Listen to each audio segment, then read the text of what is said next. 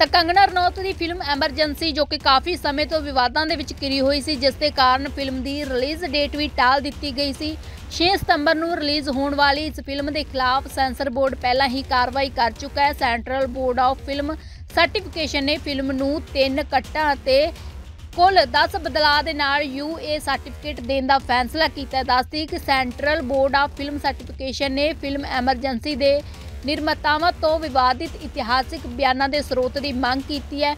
ਇਸ ਦੇ ਵਿੱਚ ਸਾਬਕਾ ਰਾਸ਼ਟਰਪਤੀ ਰਿਚਰਡ ਨਿਕਸਨ ਦੁਆਰਾ ਭਾਰਤੀ ਔਰਤਾਂ ਪ੍ਰਤੀ ਅਪਮਾਨਜਨਕ ਟਿੱਪਣੀਆਂ ਅਤੇ ਵਿਸਟਨ ਚਰਚਿਲ ਦੀ ਟਿੱਪਣੀ ਸ਼ਾਮਿਲ ਹੈ ਕਿ ਭਾਰਤੀ ਖਰਗੋਸ਼ਾਂ ਦੇ ਵਾਂਗ ਬੱਚੇ ਪੈਦਾ ਕਰਦੇ ਨਿਰਮਾਤਾਵਾਂ ਨੂੰ ਇਹਨਾਂ ਦੋਵਾਂ ਵਿਵਾਦਿਤ ਬਿਆਨਾਂ ਦਾ ਸਰੋਤ ਪ੍ਰਦਾਨ ਕਰਨਾ ਹੋਵੇਗਾ। ਤਾਂ ਦੱਸਦੀ ਹੈ ਕਿ 8 ਜੁਲਾਈ ਨੂੰ ਨਿਰਮਾਤਾਵਾਂ ਨੇ ਫਿਲਮ ਨੂੰ ਬੋਰਡ ਦੇ ਕੋਲ ਪੇਸ਼ ਕਰਨ ਲਈ ਸੌਂਪਿਆ ਸੀ ਅਤੇ 8 ਅਗਸਤ ਨੂੰ ਫਿਲਮ ਦੇ ਵਿੱਚ ਤਿੰਨ ਕੱਟਾਂ ਸਮੇਤ 10 ਬਦਲਾਅ ਕਰਨ ਦੇ ਲਈ ਸੁਝਾਅ ਵੀ ਭੇਜੇ ਗਏ ਸਨ। ਤਾਂ ਸੀਬੀਐਫਸੀ ਨੇ ਮਨੀਕਰਨਿਕਾ ਫਿਲਮਜ਼ ਪ੍ਰਾਈਵੇਟ ਲਿਮਟਿਡ ਨੂੰ ਇੱਕ ਪੱਤਰ ਲਿਖਿਆ ਸੀ ਅਤੇ ਯੂਏ ਸਰਟੀਫਿਕੇਟ ਲਈ ਲੋੜੀਂਦੇ 10 ਕੱਟਾ ਸਮਾਲੀਨ ਸੋਧਾਂ ਦੀ ਸੂਚੀ ਵੀ ਭੇਜੀ। ਦੱਸਦੇ ਕਿ ਬੋਰਡ ਨੇ ਸੁਝਾਅ ਦਿੱਤਾ ਹੈ ਕਿ ਨਿਰਮਾਤਾ ਫਿਲਮ ਦੇ ਦ੍ਰਿਸ਼ਾਂ ਨੂੰ ਹਟਾ ਦੇਣ ਜਾਂ ਬਦਲ ਦੇਣ, ਜਿਸ ਦੇ ਵਿੱਚ ਪਾਕਿਸਤਾਨੀ ਸੈਨਿਕ ਬੰਗਲਾਦੇਸ਼ੀ ਸ਼ਰਨਾਰਥੀਆਂ ਤੇ ਹਮਲਾ ਕਰਦੇ ਹਨ।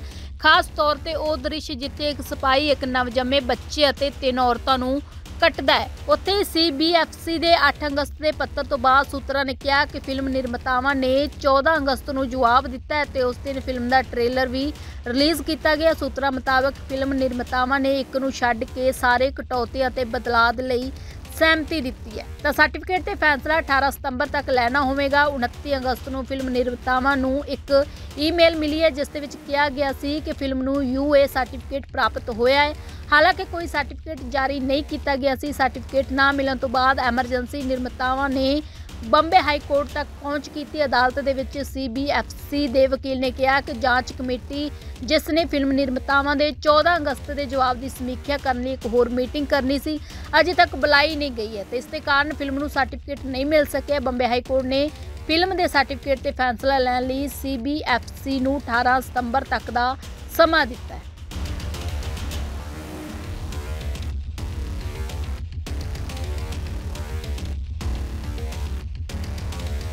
ਤਾਂ ਕੰਗਨਾ ਰਣੌਤ ਦੀ ਫਿਲਮ ਐਮਰਜੈਂਸੀ ਜੋ ਕਿ ਕਾਫੀ ਸਮੇਂ ਤੋਂ ਵਿਵਾਦਾਂ ਦੇ ਵਿੱਚ ਘਿਰੀ ਹੋਈ ਸੀ, ਜਿਸ ਦੇ ਕਾਰਨ ਫਿਲਮ ਦੀ ਰਿਲੀਜ਼ ਡੇਟ ਵੀ ਟਾਲ ਦਿੱਤੀ ਗਈ ਸੀ।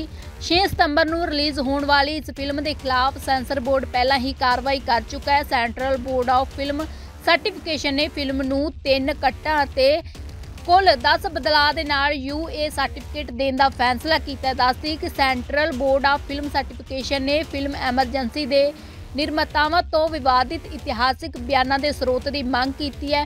ਇਸ ਦੇ ਵਿੱਚ ਸਾਬਕਾ ਰਾਸ਼ਟਰਪਤੀ ਰਿਚਰਡ ਨਿਕਸਨ ਦੁਆਰਾ ਭਾਰਤੀ ਔਰਤਾਂ ਪ੍ਰਤੀ ਅਪਮਾਨਜਨਕ ਟਿੱਪਣੀਆਂ ਅਤੇ ਵਿਸਟਨ ਚਰਚਿਲ ਦੀ ਟਿੱਪਣੀ ਸ਼ਾਮਿਲ ਹੈ ਕਿ ਭਾਰਤੀ ਖਰਗੋਸ਼ਾਂ ਦੇ ਵਾਂਗ ਬੱਚੇ ਪੈਦਾ ਕਰਦੇ ਨਿਰਮਾਤਾਵਾਂ ਨੂੰ ਇਹਨਾਂ ਦੋਵਾਂ ਵਿਵਾਦਿਤ ਬਿਆਨਾਂ ਦਾ ਸਰੋਤ ਪ੍ਰਦਾਨ ਕਰਨਾ ਹੋਵੇਗਾ। ਤਾਂ ਦੱਸਦੀ ਹੈ ਕਿ 8 ਜੁਲਾਈ ਨੂੰ ਨਿਰਮਾਤਾਵਾਂ ਨੇ ਫਿਲਮ ਨੂੰ ਬੋਰਡ ਦੇ ਕੋਲ ਪੇਸ਼ ਕਰਨ ਲਈ ਸੌਂਪਿਆ ਸੀ ਅਤੇ 8 ਅਗਸਤ ਨੂੰ ਫਿਲਮ ਦੇ ਵਿੱਚ ਤਿੰਨ ਕੱਟਾਂ ਸਮੇਤ 10 ਬਦਲਾਅ ਕਰਨ ਦੇ ਲਈ ਸੁਝਾਅ ਵੀ ਭੇਜੇ ਗਏ ਸਨ। ਤਾਂ ਸੀਬੀਐਫਸੀ ਨੇ ਮਨੀਕਰਨਿਕਾ ਫਿਲਮਜ਼ ਪ੍ਰਾਈਵੇਟ ਲਿਮਟਿਡ ਨੂੰ ਇੱਕ ਪੱਤਰ ਲਿਖਿਆ ਸੀ ਅਤੇ ਯੂਏ ਸਰਟੀਫਿਕੇਟ ਲਈ ਲੋੜੀਂਦੇ 10 ਕੱਟਾ ਸਮਾਲੀਨ ਸੋਧਾਂ ਦੀ ਸੂਚੀ ਵੀ ਭੇਜੀ। ਦੱਸਦੇ ਕਿ ਬੋਰਡ ਨੇ ਸੁਝਾਅ ਦਿੱਤਾ ਹੈ ਕਿ ਨਿਰਮਾਤਾ ਫਿਲਮ ਦੇ ਦ੍ਰਿਸ਼ਾਂ ਨੂੰ ਹਟਾ ਦੇਣ ਜਾਂ ਬਦਲ ਦੇਣ, ਜਿਸ ਦੇ ਵਿੱਚ ਪਾਕਿਸਤਾਨੀ ਸੈਨਿਕ ਬੰਗਲਾਦੇਸ਼ੀ ਸ਼ਰਨਾਰਥੀਆਂ ਤੇ ਹਮਲਾ ਕਰਦੇ ਹਨ।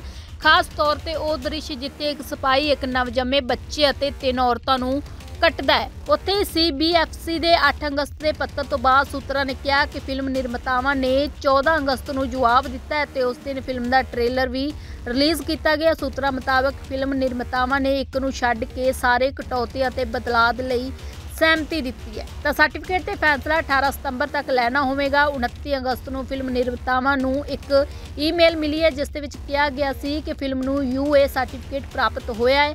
ਹਾਲਾਂਕਿ ਕੋਈ ਸਰਟੀਫਿਕੇਟ ਜਾਰੀ ਨਹੀਂ ਕੀਤਾ ਗਿਆ ਸੀ। ਸਰਟੀਫਿਕੇਟ ਨਾ ਮਿਲਣ ਤੋਂ ਬਾਅਦ ਐਮਰਜੈਂਸੀ ਨਿਰਮਾਤਾਵਾਂ ਨੇ ਬੰਬੇ ਹਾਈ ਕੋਰਟ ਤੱਕ ਪਹੁੰਚ ਕੀਤੀ। ਅਦਾਲਤ ਦੇ ਵਿੱਚ ਸੀਬੀਐਫਸੀ ਦੇ ਵਕੀਲ ਨੇ ਕਿਹਾ ਕਿ ਜਾਂਚ ਕਮੇਟੀ, ਜਿਸ ਨੇ ਫਿਲਮ ਨਿਰਮਾਤਾਵਾਂ ਦੇ 14 ਅਗਸਤ ਦੇ ਜਵਾਬ ਦੀ ਸਮੀਖਿਆ ਕਰਨ ਲਈ ਇੱਕ ਹੋਰ ਮੀਟਿੰਗ ਕਰਨੀ ਸੀ, ਅਜੇ ਤੱਕ ਬੁਲਾਈ ਨਹੀਂ ਗਈ ਹੈ। ਤੇ ਇਸ ਦੇ ਕਾਰਨ ਫਿਲਮ ਨੂੰ ਸਰਟੀਫਿਕੇਟ ਨਹੀਂ ਮਿਲ ਸਕਿਆ। ਬੰਬੇ ਹਾਈ ਕੋਰਟ ਨੇ ਫਿਲਮ ਦੇ ਸਰਟੀਫਿਕੇਟ ਤੇ ਫੈਸਲਾ ਲੈਣ ਲਈ ਸੀਬੀਐਫਸੀ ਨੂੰ 18 ਸਤੰਬਰ ਤੱਕ ਦਾ ਸਮਾਂ ਦਿੱਤਾ ਹੈ।